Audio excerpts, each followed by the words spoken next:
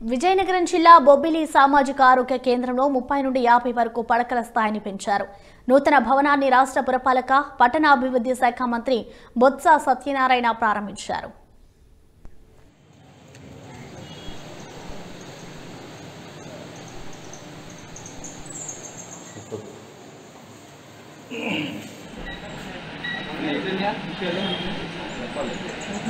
ఒకటే పెట్టదా?